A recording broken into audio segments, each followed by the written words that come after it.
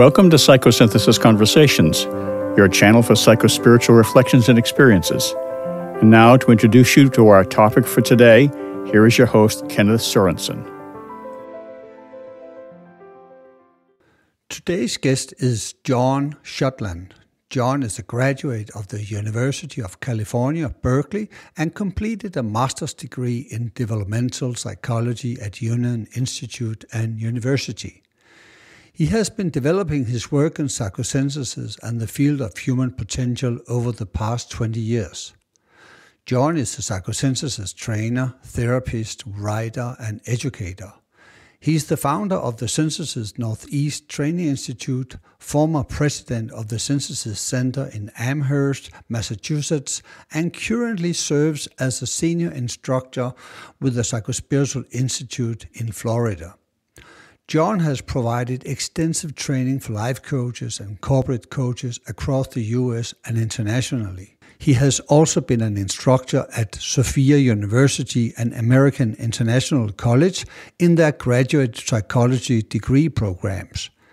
He has contributed numerous articles to the AAP Psychosynthesis Journal and most recently authored a chapter in the book Willing to Love Stories of the Couple's Journey as a Path of Transformation, published earlier this year. Jon is a nationally board certified coach and psychosynthesis life coach, and he maintains a private coaching and therapy practice based in Brattleboro, Vermont, in the USA. I hope you will enjoy this conversation where we reflect on the nature of conflicts and what role the combative energies play in these conflicts as they are related to the instinct of self assertion. We also go into the transformative work of sublimation and transmutation to help us maturely express these energies. And lastly, please help us spread the word about psychosynthesis by liking and subscribing to this channel. And please comment if you have any feedback. Without further ado, Jon Schottland. Hi, Jon, and welcome to Psychosynthesis Conversations. Uh, I'm very happy and honored to have you present here today. And uh, this is actually the first podcast that uh, I'm doing. So you're the first guest, and I'm very happy for you to be here. And I I know you from uh, the Psychospiritual Institute in Florida, where you are senior instructor. Uh, and I have always loved your present, uh, your presence, and how you express psychosynthesis. So, before we go into the topic of today, perhaps you could uh, could tell us a bit about your journey into psychosynthesis and why you choose to express yourself uh, within this psychological modality. What's really motivating you? Mm.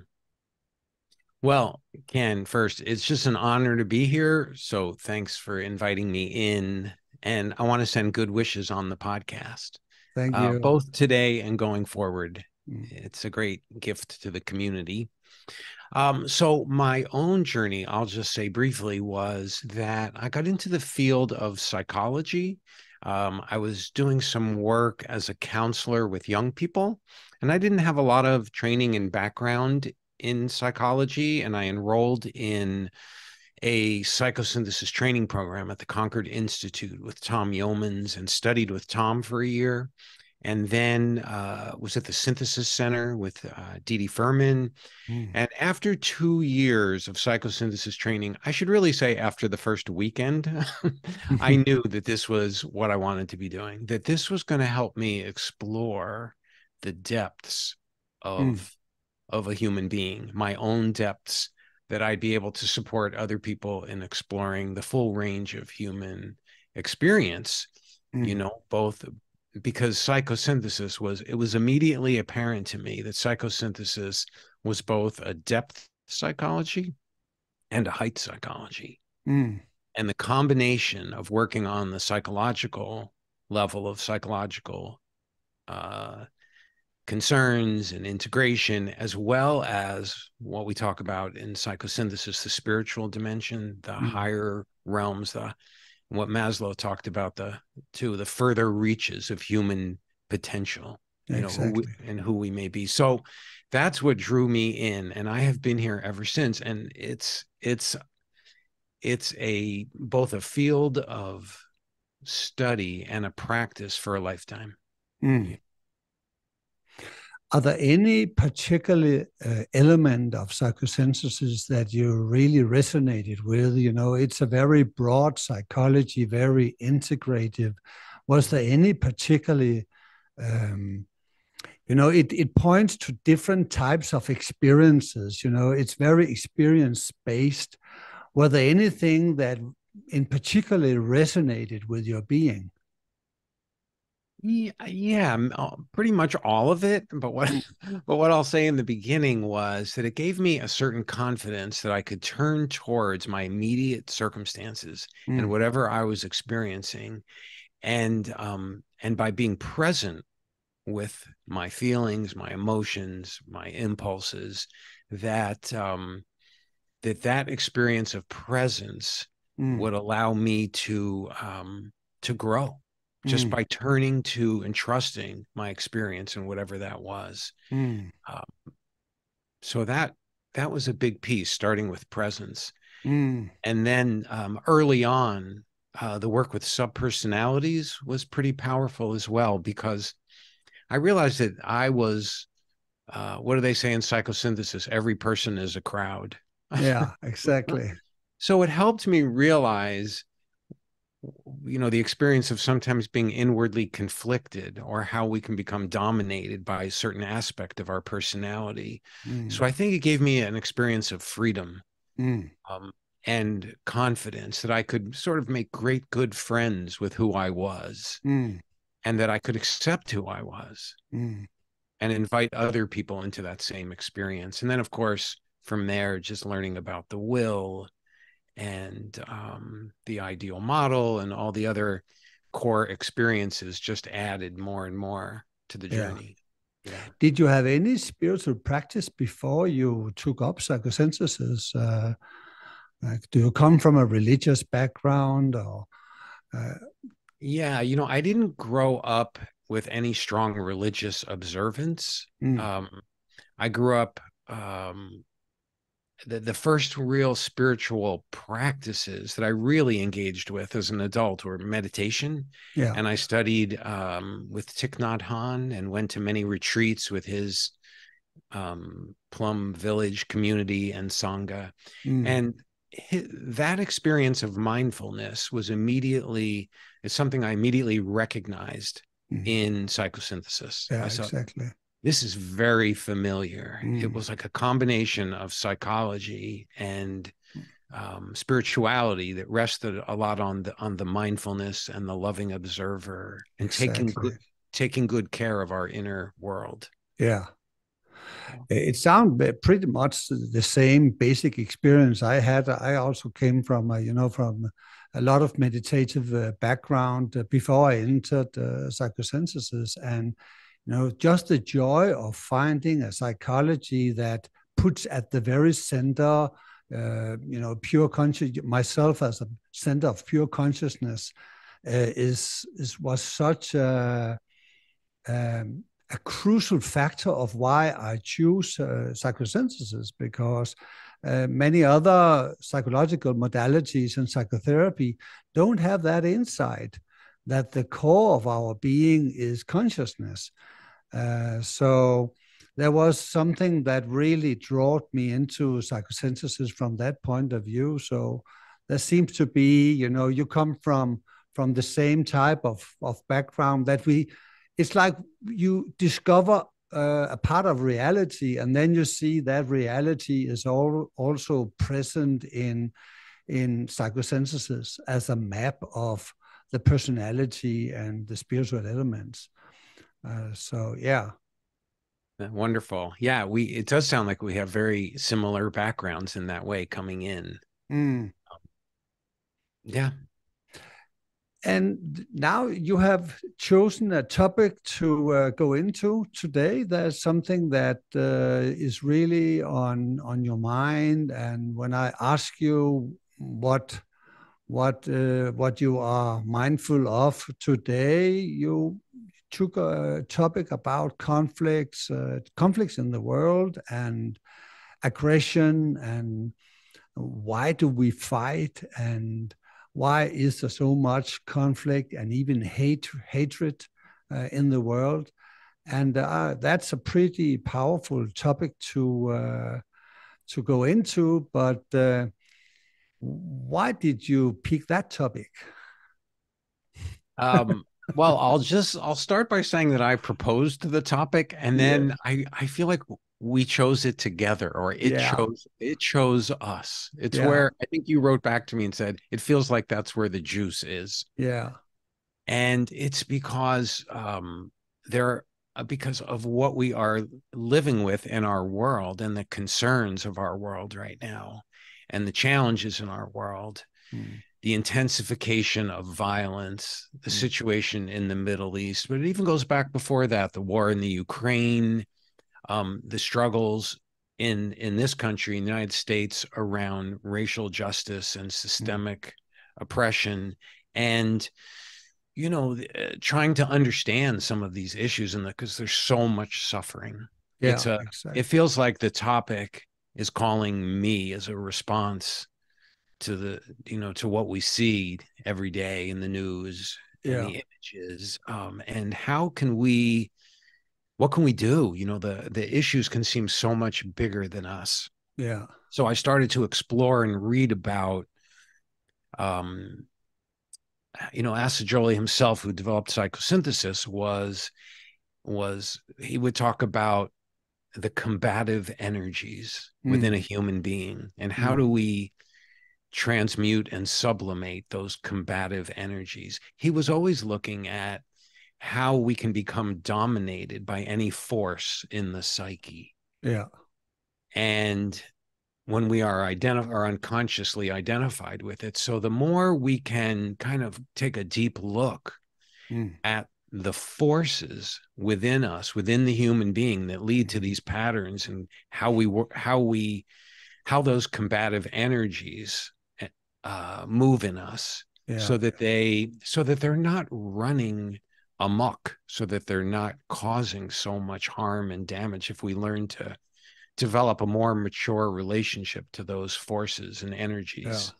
because clearly there since time began there have been combative energies exactly and i and i think that um, if i should um, uh, bring a perspective into to uh, many of the conflicts i think one of the most important elements for me is synthesis you know it, it psychosynthesis helps me not to get too attached to one of the polarities, you know. When there are conflicts in the world, it's so easy to become attached to one of the polarities. Uh, it can be, you know, Israel, Palestine, you know, that you are drawn to take the perspective of only one of them.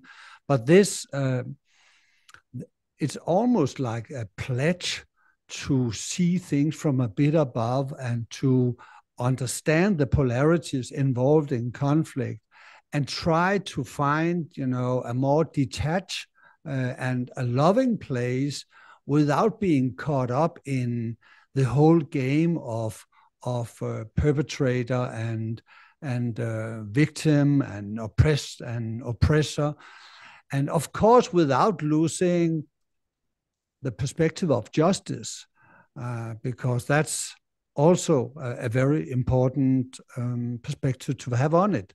But I think psychosynthesis have this have this um, will to synthesis, which is uh, a pledge to try to synthesize or find solution that um, brings the needs of all the conflicts, all the conflicting partners uh, into a harmonious whole. And I know that's a, a, a big task, and uh, but I think just to have that perspective, not to be too attached to any polarities, and this is. Uh, this is also something that goes on within ourselves you know it's just it's just as relevant that we are not taking sides um, uh, from the first point, you know, when we have conflicting elements in ourselves, uh, also to be able to disidentify, you know, the disidentification is in some way the first step in order for us to to get a more clear perspective of what go what what is going on. Yes, and um, yeah, and you know when aggression is um, arising or emerging in us, and we start identifying with it, uh, we can be quite sure that we take often only one side of it. Uh, so yeah. Yes, I'm I'm right in resonance with all that you've shared there. Bringing psychosynthesis as a frame to these conflicts and these challenges, I am finding just incredibly helpful and useful because psychosynthesis is essentially a framework and a process that helps us look at how the various elements or even conflicting elements mm. in any complex system can mm. grow more harmonious and more coherent. Mm. So, those could be the complex elements within our own personality, within our own mind, the ways we become inwardly conflicted, as well as the outer elements to realize that in our world, we are all part of a larger system mm. in which there are conflicting elements. That's yeah. just a starting point. What are we exactly. going to do when we live in a world where there are conflicting elements mm. and we have an aspiration towards greater harmony mm. and coherence as a human community? Yeah. I mean, that is just got to be a question that is becoming, it's growing more and more urgent. I think mm. people feel that everywhere. Yeah. And uh, Assagioli has a, a, quote about, you know, before you can resolve problems uh, in the social world, we have to have solved the, the problems or conflicts within ourselves in order for us not to, you know, just project our own unresolved issues upon the world. So, uh, yeah. and I think that's a call to each and every one of us. And I think there's no way out of, you know, really digging into one's own anger and the root of anger. Yeah. Uh, and, you know, not be afraid of of our anger, but yeah. but but explore it and make room for the anger because if we are not comfortable with anger when we experience anger in our social relations or in the world then we very often get hijacked by that energy yes absolutely and i've often in conversations even with, with other students in psychosynthesis or even with my clients have have tried to get across the point that anger is a is a natural arising emotion in our organism and that the problem isn't anger in our world it's poorly integrated anger yes exactly. it's anger that the person has there's no level of integration mm. there's a very beginning level of relationship to the anger mm. and i and I, and I want to talk talk about that a little bit in just a second but can i ask yeah. you one question first because yes. you talked about identification and disidentification because I find that the more work I do in psychosynthesis, the more my identification grows to not just this small group of people, not just my family, not just my community, not just psychosynthesis people, but that really powerfully now, like when I look at the conflict in Israel Palestine, and I grew up in a Jewish family, Mm. When I look at Israel, I have this, you know, it breaks my heart what's happening. And I have this feeling that these are my people. Yeah. And no less now when I see what's happening to the Palestinians, and this is not a thought, it's in my heart. These are my people. Yeah you know these are yeah. my people too and then i can go for a walk in the state park and i'm walking amongst the pine trees and i feel like these are my people these are my yeah. pine tree people you know just this larger and larger identification yeah and then all life starts to feel more precious yeah Exactly. Do you, does that does that resonate at all, or very very much? Uh, and I think it it lies uh, at the heart of psychosynthesis. You know uh, that we we we bring our awareness to that part of our being, the heart center, and that's this type of expanding identification uh, with with the world soul, with humanity as an evolving entity. And this is also where uh, jolie speaks about the psychosynthesis of humanity, the psychosynthesis of each nation. And uh, what we see in Palestine, Israel, uh, they can call home. And the same, you know, thing with, with Israel, you know, also the impulse to protect their home uh, and, and their statehood. And then the struggle to find out where, where the borders are uh, in, in, in that uh, respect. But it's all part of, you know, uh, the psychosynthesis of humanity. Um, yes.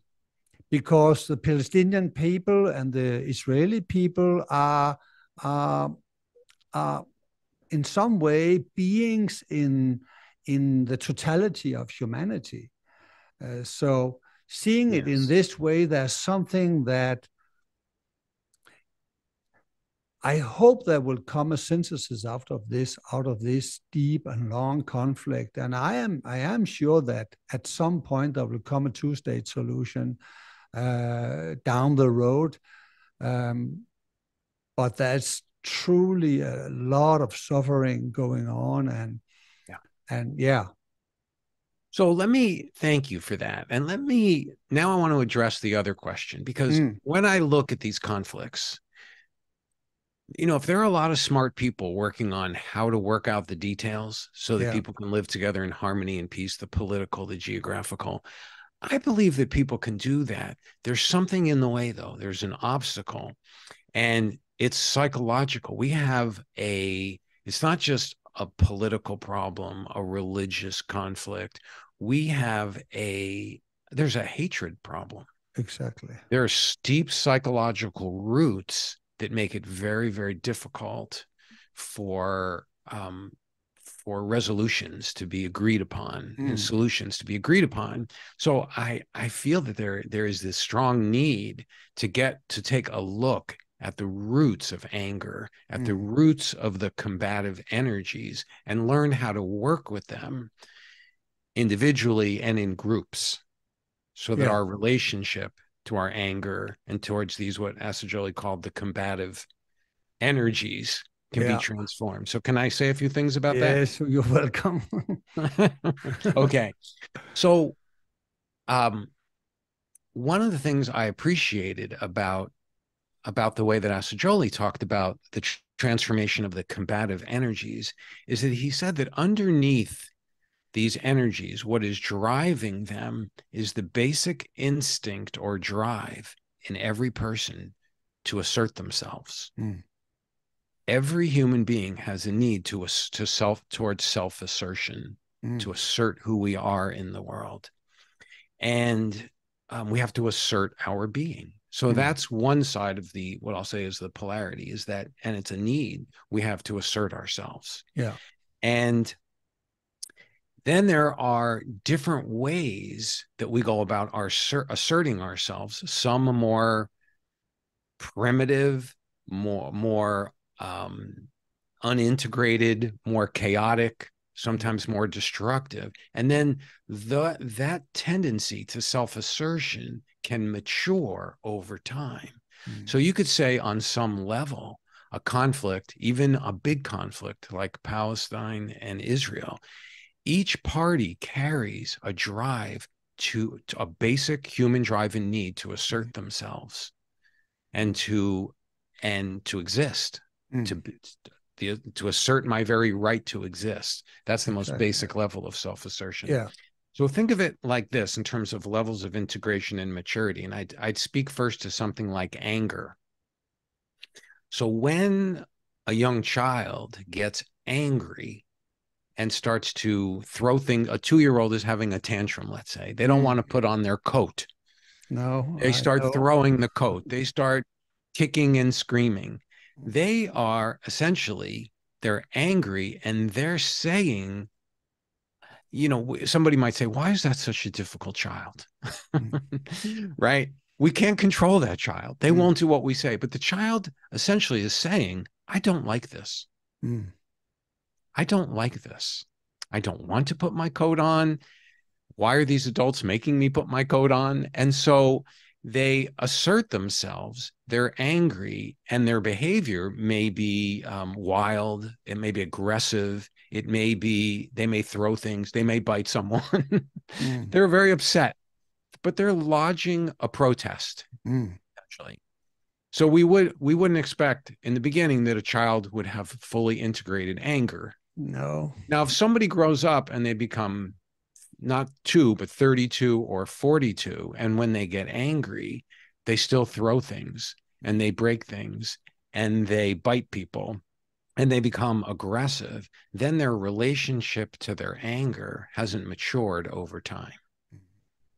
So what what I think is important here is to first of all respect that there's something there that someone is trying to assert, the drive mm. towards self-assertion and then the need to find more and more mature and effective ways to to express that mm. that that piece to assert ourselves in ways that are compelling that are meaningful um, and that uh, and that have some level of coherence to them mm. in terms of how we express ourselves so our relationship to who we are when we're angry changes over time. So we're not dominated by our anger mm. in a way that's destructive. Mm. So that's that's the first people that I first piece that I would lay out. And yeah. when and and I'll take you can I take it one more step? There? Yes. So how does the how does that happen? How does the integration happen? So I think back to when I started out doing working as a counselor in a um in an elementary school sometimes the kids would go out to the playground on recess and they would get angry and they would get into conflicts and and maybe one boy would hit another boy and, and, then they get brought inside and they have to go see the counselor and talk about it hmm. and they would come in and tell me how uh, you know that they that one boy had hit this other boy and i would say well why did you hit hit them? And they'd say well i was angry. I said oh you were angry. Okay. So why'd you hit them? And they said well I just told you I was angry. And I said, Oh, I see. Okay. So I'm still, I don't understand why you hit them. And they're getting exasperated and they look mm. at me and they're frustrated. And then I'd say, You know, I get angry a couple of times a day or every week, and I haven't hit anybody in years. Mm. I said, Do you want to know how to, you want to learn how to do that? Mm. So I said, Feel angry behave well. Mm. Feel angry, behave well. So when you get angry, what is the best possible expression of that anger mm. that you can think of? What's going to, what's your, what might be the, even a slightly better way of what mm. you could do when you're angry? And they mm. say, well, maybe I could tell a teacher. maybe I could walk away. Mm. I said, good. And so that's the beginning of the person realizing that they can have a more mature response to their mm. anger and their combative energies. Mm. And that's just a small example. And then that grows over time in yeah. terms of how we relate to these things. So what's your what's your response to all that? I think it's uh, beautifully expressed, and I think it's uh, you know to see anger as uh, a natural instinct it's an instinct in us, you know. And uh, I remember that Assagioli proposed five fundamental instincts, uh, the instinct of self-preservation, and very often uh, the instinct of self-assertion that's related to anger is also uh, connected to self-preservation because we get angry when we are threatened. Um, if our identity becomes threatened or or even if our life become threatened. And he also speaks about, you know, the sexual instinct, um, the herd instinct, and the instinct of curiosity. And they all related to different types of fear. And if we just focus into the self assertion, it's the fear of not getting enough respect.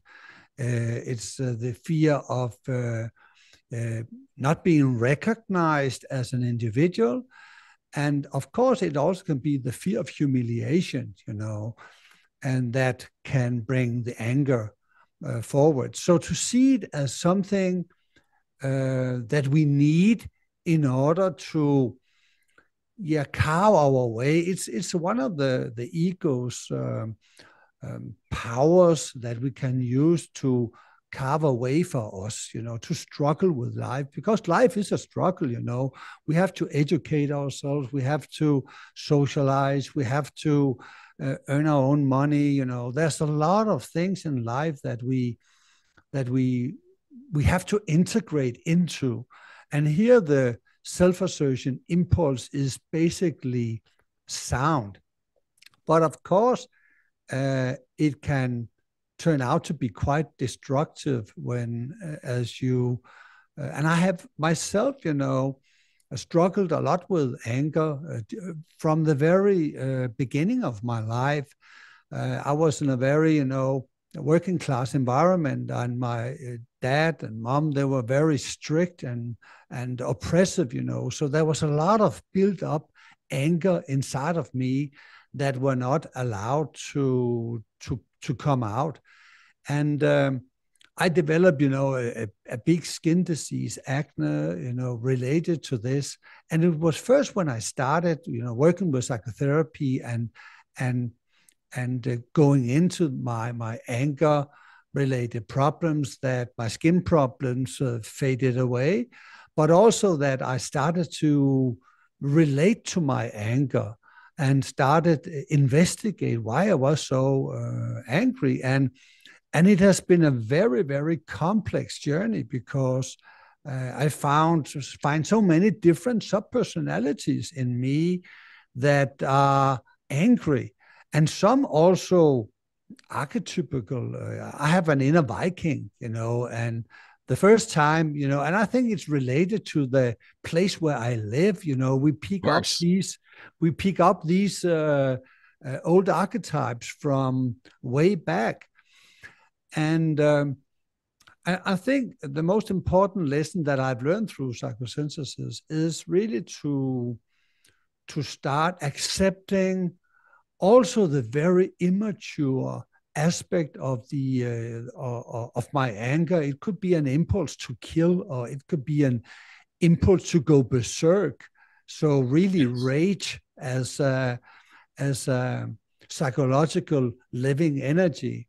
And i think if we if we can create a a space within where we can be with that type of energy yeah. and uh, you know so it not come out in our knee jerk uh, reactions then we have really created a, a good foundation for uh, for a personality because we will not then uh, be so triggered when we when we come into conflicts and of yes. course this is a long journey to start relating to anger in this way Yes, yes, absolutely. So let me that's a great description of how the process that we have to engage in. And I want to introduce a concept that we because we talk about synthesis when we talk about polarities yeah. in psychosynthesis.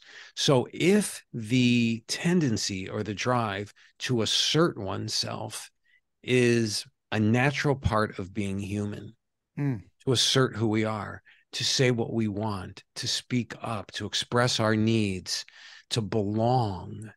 We have to assert ourselves to have all these things, to follow mm. our dreams. You were trying to assert yourself in a strict environment as a child. Mm. And when you weren't able to satisfy that drive towards self assertion, a natural response of anger um, blossomed in you or yeah, naturally exactly. arose in you. And then over time, you work with that, that, mm. that tendency towards becoming angry so that when you become an adult, if there's a moment where your drive to self assertion may be temporarily interrupted or blocked, you don't become ra- enraged. Mm. The old pattern doesn't, you don't become Viking Ken. so that's the process of spiritual maturity that as, yeah. as you become a more um, psychologically integrated and mature self, your relationship to that moment, you can deal with obstacles to self-assertion in a way other than rage or violence or, exactly. or throwing things right so that's the point so so there is this drive towards self-assertion and then on the other side of the polarity what i call if there if assert is one side accommodate is the other mm. because assert is the yang we assert ourselves it has yang energy it's necessary to assert who we are you know? And then on the other side is the yin energy which is also very important which is to be able to accommodate yeah. that it's not all about what i have to say. How do we accommodate others? What is their point of view? How yeah. can we learn to yield at times as well as assert?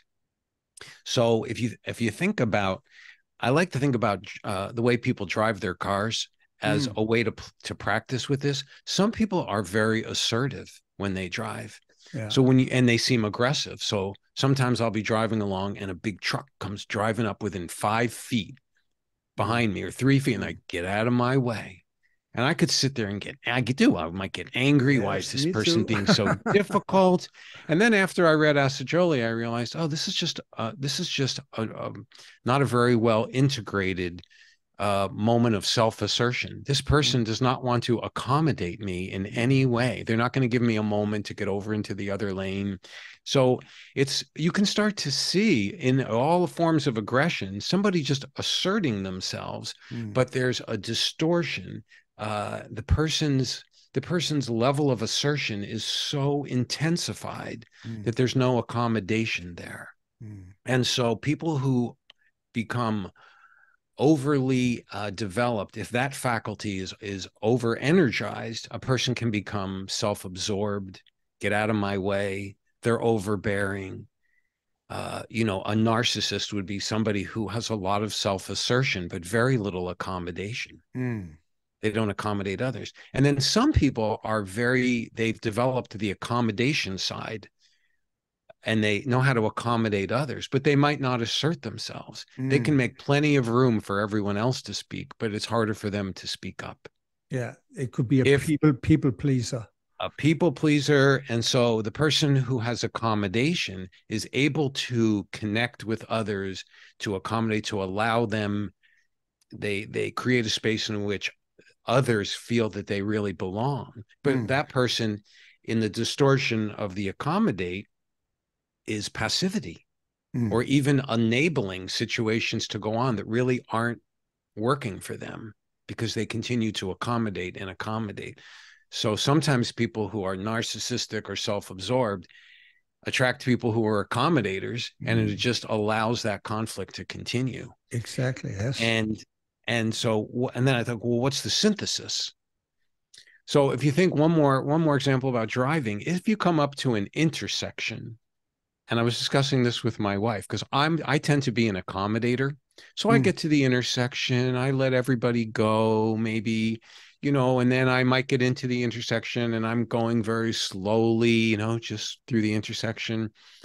And my wife, she gets to the intersection, she waits for her turn, but then she gets in and she gets out. Like mm. she just she just asserts her t- it's her turn and she goes. And I realized that even think if you think you're accommodating everyone, you're mm-hmm. not really helping the flow. If everybody's at a four way stop and nobody goes, then you've got a problem. Yeah, exactly. But if everybody goes, you've got a problem. Yeah. so we need the synthesis of assert and accommodate. Mm. And I think when you have both, you have harmonious flow. Mm. I, I, I, I really, it's reminded me also, you know, I'm also into astrology, you know, and it's the polarity between Mars and Venus. Uh, it's uh, two other, you know, archetypes that uh, tells the exact same story about how how important it is to you to be in connection with both uh, energies. Um, but I think uh, in order really to, in order really to be able to to move that aggressive energy from its immature state to its more uh, mature state um, it's an ongoing it's an ongoing process because um, we can have so many um, layers within our psyche, uh, within our subconscious that we are not aware of until uh, situations, um, uh, you know, trigger it, or perhaps we get uh, more influence in the world and are attracting more conflicts, and this trigger uh, this aggression. So I think uh, this is the learning from my own um, life that it's so important to recognize our own ability to wreak havoc in the world, to be destructive. And very often yes. we can be destructive in a almost in in a covert way you know uh, we can have a nice persona but below it we there's there can be an impulse to destroy another one's argument or destroy another one's uh, perception. And I think, you know, that the first step must be that we have some kind of a deep acceptance of how deep this is rooted in us. You know, we it's it's only uh, it's only 80 years ago since you know millions of people were slaughtered on the European uh, ground, you know, in World War II. And I think these brutal energies, these uh, uh, instinct uh, of violence uh, run so deep in us. And it's only a very, very thin um, layer that covers it. And, and I think that the more people who who are able to dig into these deep layers of unresolved anger and destruction, um, the more we can uh, facilitate that evolution of that energy. Because I think that that this type of anger is a resource for perhaps courage, uh, perhaps uh, more moral courage, you know, the ability to stand your ground in um, in different areas of life. Yes, yes. That anger is a sign or a signal that we have some sort of paramount objection to something that's happening. Yeah. If we don't become angry in the face of atrocities, if we're passive, nothing would ever change. So the anger is an appropriate response. Mm. The violence may not be. No, exactly. The anger is an appropriate response. The frustration, even mm. the hatred is understandable. Mm. You may hate somebody. Now what? Mm. Be a living example, as Joel used to say. Mm. When you hate somebody, be a living example of somebody who can deal with their hatred and not make the problem worse. Yeah. And how are you and and that's very, very challenging, of course. And how would you deal with how will you deal with hate uh, and you know these really deep seated uh, emotions yeah. what what what's what's the best yeah. techniques you know or yeah attitudes so when, yep and so when people are really caught in those kinds of deep seated anger resentment grievances frustrations and even hatred there's usually a lot of trauma that's informing that past trauma. And it's very, very hard for those people to hold their conflict and to hold the energies. So it's helping me realize just like if a if a couple, if I do couples counseling and they come in, they need help. They can't really, they're having a very hard time transcending their resentments, mm. their their anger, their frustration with each other. So they're having they need an external, what we say in psychosynthesis, an external unifying center, someone yeah. who can try to hold the intensity of their conflict in the best way possible. Yeah. And it's the same. So if we think that, for instance, in a global conflict, that that Palestine, the Palestinians and Israelis can work it out themselves, there's too much trauma. Exactly. There's there's it's too deep. They need this needs a holding environment of the global yeah. community. And I think yeah. that's what's happening now. It's been brought to everyone's attention. This conflict is our conflict as yeah. well.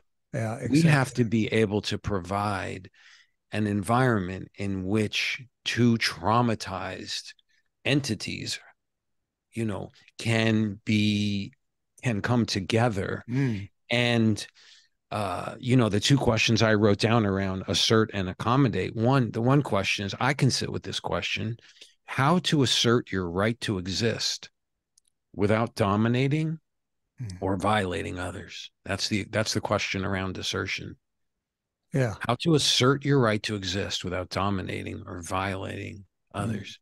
And then on the accommodation side, how to accommodate others while still making your presence and your needs felt. Mm. So to hold these kinds of questions, but but with two when you know it, those aren't questions you can easily sit with when you feel like people want to hurt you. Exactly, and I I think you know sometimes people will feel that they are dominated by us, even though we don't have any intention about it because very, if we are very identified with our solution to a conflict uh, then it's um, you know it's very hard to uh, to accept another perspective on the situation. Uh, but as you say that, um, and there's also the question. There's also the question of justice. You know how to bring justice into because we we get very very upset if we experience something that that we think is an, in, an injustice. Yes. Yes. So, and, and, very often, you know, in these types of conflict, this type of, of justice, there has to be brought some pressure on. I would almost say sometimes we we have to really push people into into an agreement. Yes. because there is so much built up anger and it's uh, yeah, it's very hard to to to to manage it without an outside pressure. That's right. That's right. And you can again trace these these drives for justice all the way back. That has been present all the way back to when people are little kids, and the little yeah. kids again come in with their grievance and their protest and they say, "This isn't fair. Mm. What's happening isn't fair." Yeah and because they want fairness they want balance they want to be able to assert themselves they want to be whatever it is and so people are searching for fair solutions to be mm. fair mm. to feel like they're getting a fair deal but if the relationships if there's not the maturity there they can't really um, they can't access uh, or accommodate the other mm. side and mm. so it's very hard to reach a fair deal so that's yeah. why the the presence and the pressures of the of the communities are so important. I don't want to get too far into the politics of it all, mm. um, but the these patterns and these and these ways of working with these basic drives and the and the combative energies, and I think you can i'd be interested i know we don't have a ton of time here today and we could maybe talk more another day but we could also do a little exercise mm-hmm. and look at how we how we work with these energies because we have to learn how to work with our own combative energies too. Exactly. Yeah. Those own tendencies. And then we we come back to the suggestion from from Assagioli that we first learn to deal with the conflict within ourselves before we go out in the world and try to solve other people's uh, conflicts because when we have resolved them or at least started to take a look of the conflicting forces within ourselves and have learned the basic techniques to deal with them, then we will not be caught up in in in the dramas of the outside world. But that's that's really a tall order, you know, to to do that homework. So yes. that's that's your that's your psycho spiritual homework for each exactly. person and ken you're so good with this because you put at the center of your work often when i see you uh, doing a session uh, an observation session with a student you you you center your work around developing the uh, the depth of the loving observer the ability. To sit as a loving observer with your experience whatever it is yeah. whether that's uh, deep love for another person or whether it's rage. Yeah. Or whether it's frustration, to be the loving observer, to build a loving observer within yourself. Yeah. as a way to transform and sublimate those energies. Yeah. And and I think that's that's it's it's a balance between, you know, love, you know, be able to hold and bear the pain of a conflict. You know, it's very often because we cannot bear the pain, we cannot hold that intensity. Yes. Uh, and when we cannot hold that intensity of uh, pain, then anger come as as the solution to uh, to bring that pain away from me. But the but when we settle into this place within where we are the loving observer, we gradually um, develop that capacity to be with that pain. And it's not only love, it's also the will to love, the mm. will to not act out of this pain, but come from a deeper, more mature part of oneself. Yes, yes. And you're actually pointing at something else here that Joy talked about, which is the goodwill and the mm. need to have an abundance of goodwill yeah. to do this work. Yeah. When we're so angry or when we're so frustrated. And this is very important what you're saying here because the the tendency is the first step a person might have is to try to not feel what they're feeling. How can I stop feeling so angry? How can I just why can't I let go of my resentment? Mm. And so there's a repression. Yes. And then it's just bubbling underneath. So the point isn't to repress any of it, Absolutely but to not take care of it, be the loving observer. Yeah. If I can hold both my resentment and my desire to be in harmony with this person, mm. how do I deal with the tension there mm. of my of not wanting to see the person just through the lens of my pain mm. and my resentment. But if I mm. try to repress that resentment, it's not going to work no. so i have to i have to be with my resentment and still find a way to be with this person yeah. that feels harmonious could you present a, a short exercise for the listener of this uh, podcast uh, and me and so we can have a first step to look at our anger? Yeah. And probably uh, hopefully resolve it. Hang on just one second.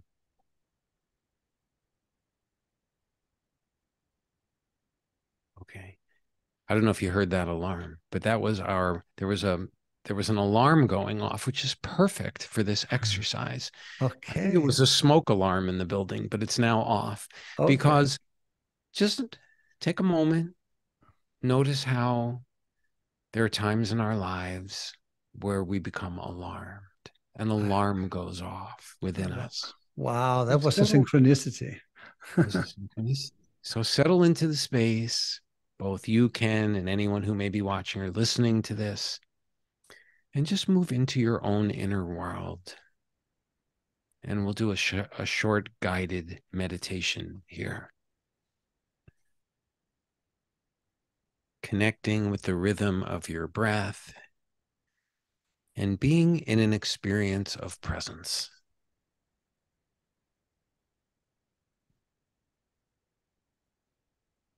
And what we will do is look at how we may work with this alarm, this inner sense of alarm, and introduce an experience of working with integration and elevation in our psyche. So I would invite you to consider a situation in your in your life where you experience some anger or an aggressive impulse, perhaps a frustration. Just let it come to you, whatever it is. It could be very small. One forgot to put the milk in the back in the refrigerator. Or it could be something very big, a way in which you feel you have a strong grievance against someone who has done you wrong. And bring this situation present. Visualize the person or people involved, what the circumstance is. And spend a few moments noticing your own internal reactions and energies.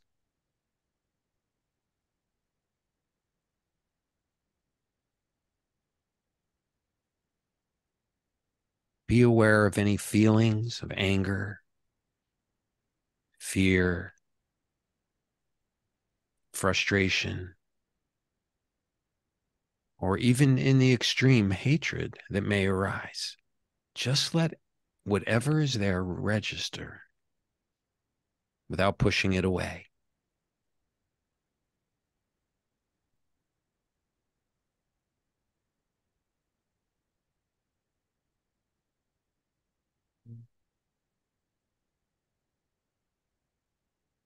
And also see if you can connect now with any need that you may have in this moment. What is giving rise to these feelings?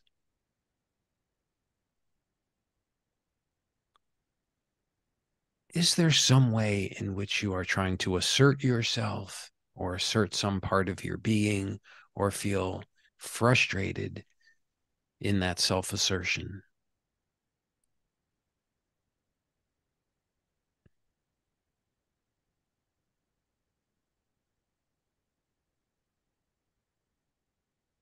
This is the work of integrating the combative energy, any form of a combative energy.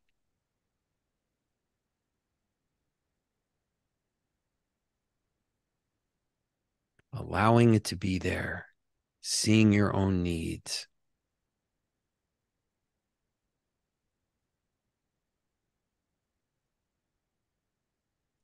And next, in the face of these feelings, these energies now, imagine that your relationship to the aggressive impulse is being transformed. That somehow your aggression is turned over to the deepest part of you, the self, so that you connect with a higher calling and a greater good that springs from the core of your being.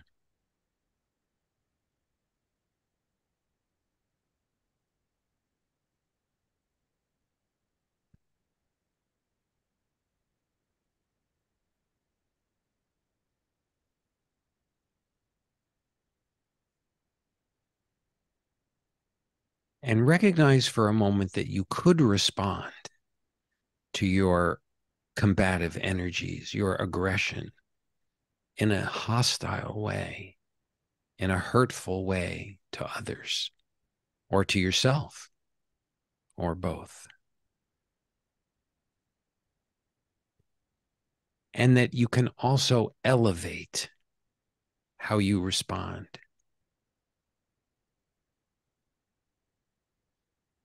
If you turn the conflict over to your own soul. From this perspective, what is the most elevated or a more elevated and soulful response to your circumstances?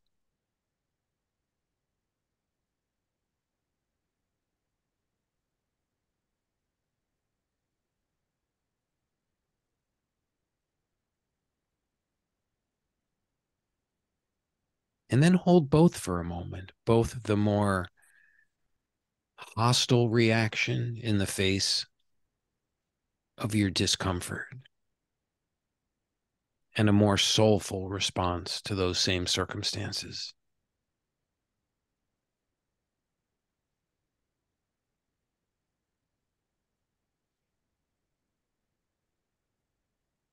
And realize the power of your own choice in this moment in how you respond. Not an unrealistic response. We're not going to all sit down and sing kumbaya together, maybe. But what is that mature, that process of spiritual maturity as it moves within you that brings you to a soulful place in relationship to the intensity of your own feelings and energies?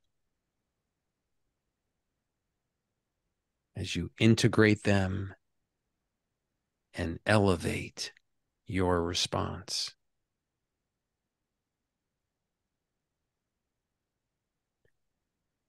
And then finally, notice too that as you do this, your own energy may start to shift. And notice what kind of energy you may now radiate. Having arrived at this place.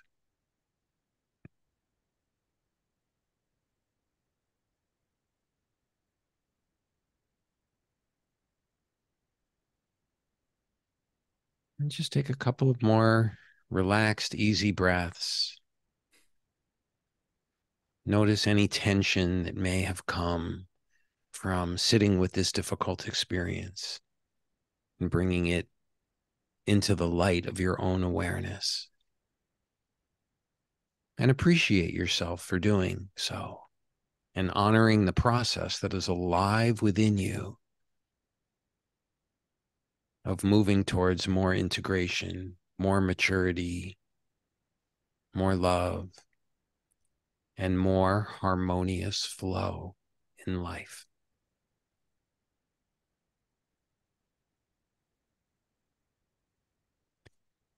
And then when you're ready, you can open your eyes, maybe wiggle your fingers,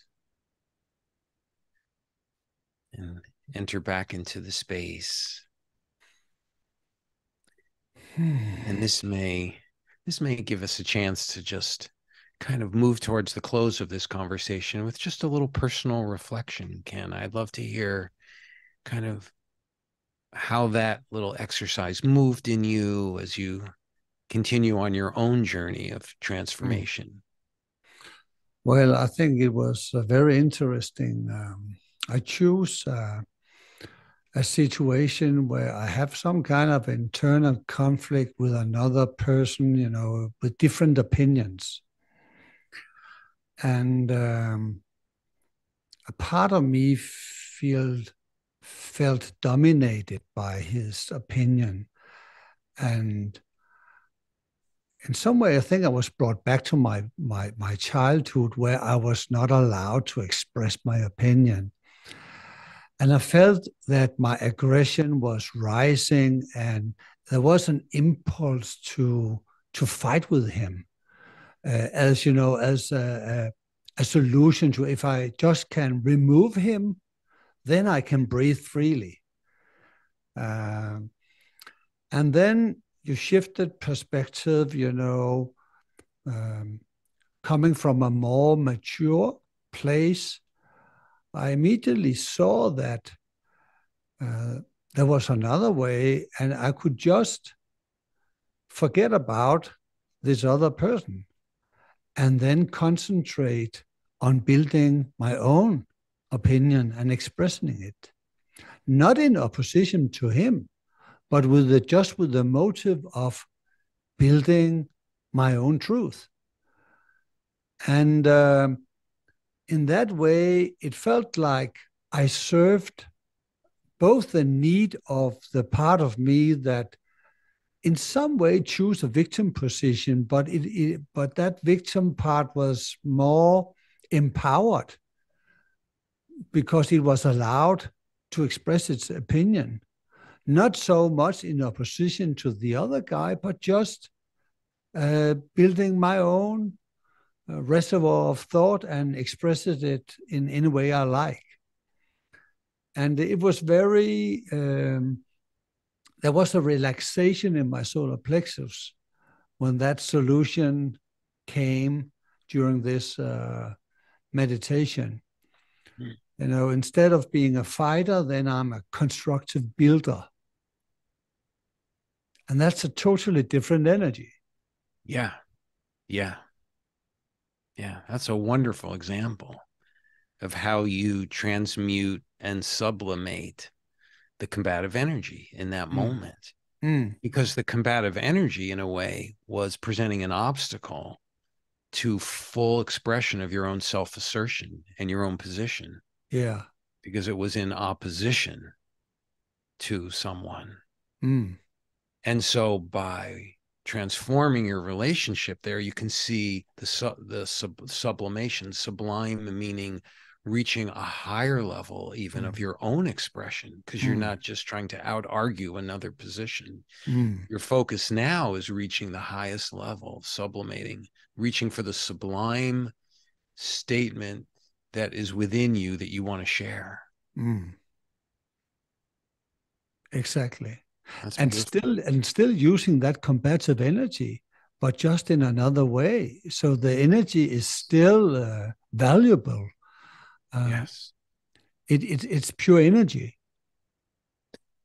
Yes. Yes. Yes. It's the energy of asserting yourself. Exactly. It's the energy that you felt that could have been gone into a fight with this person, picking a mm. fight with their mm. position. And you transmuted that energy mm. to assert in it, to use the energy of asserting yourself in an and elevating in that way. And actually, I'm now reminded uh, that Assagioli somewhere speaks about that the assertion of the ego can be transmuted and elevated into the assertion of the soul. Oh, that's so lovely. That's really lovely. So assertion is okay. Yes. It's just a, a, a yes. an gradual lifting of the motivation. Yes. Yes. And then you when you assert your soul, then you're connected to the force, your own life force. Mm. And you're asserting your soul. You're mm. bringing that life force into the world. Mm, exactly. Yeah. The power and the beauty and the, whatever you have to contribute. And then humanity benefits for every person yeah who who transmute who who transmutes that energy self-assertion from mm. their ego picking mm. a fight to their soul their yeah. truth truth and beauty you know and the beauty yeah that's really well, lovely you know, you know i was going to sort of offer there's an old saying in the jewish tradition that that sort of sums this up for me. Can i share it? Yes uh, definitely. It's very short. It says it's it's about assertion and accommodation and choosing you know? Mm. it says if i am not for myself who will be? Mm. if i am only for myself what am i? Mm. and if not now when? Wow. That was beautiful thank you Jon um, are there any way where people can read more about you, uh, learn about your work? Uh, is there anything, anywhere we can guide you, guide people so they can? I know you have uh, written an article and uh, I will publish that article. It's called Integrate, Elevate, and Radiate. And it's a really a profound, good article that um, I will say uh, shed light on some of the core principles of the development theory of psychosynthesis. So I'm very, very happy to to be able to share that with with my listeners and, and newsletters receivers. So. Um, well, thank you. I appreciate that. And if that's up on your website and you have contact information, people can reach out. Um, and also, in the last year, I was part of a group of people who put together um, a book called Willing to Love, yes. which looks at the challenges in relationships. It's it's the couple the couple's journey as a path of transformation. Mm. So it speaks to some of these same themes in mm. the hmm. life of the couple. How do couples transmute and sublimate their own mm energies so that they can both assert themselves in the relationship and accommodate the other. So it's a very great little crucible in which to look at these same principles within a relationship. And yeah. I wrote uh, the opening chapter in that book sort of speaks to how the principles of psychosynthesis can inform the life of the couple and mm. it and it addresses some of these same themes it's called willing yeah willing to love. And where can I get it? Uh, is it That's available? You can, yeah, you can get it online through bookshop.org or Amazon. Yes. The, the, usual suspects will have it. yes. it. Or you can order it through your local bookstore if you want to support the community. yes.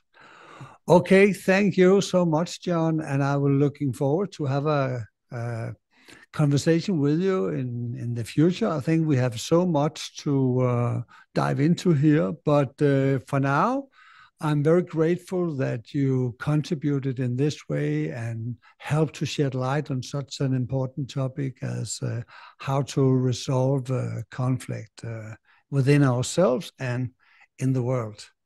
Great. Well, I always enjoy connecting with you, Ken, and being in conversation. So I'll look forward to to more down the road. Thank you. Bye bye. Bye bye now.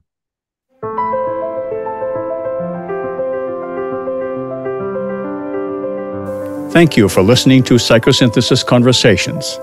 Please don't forget to like and subscribe and help us to spread the wisdom.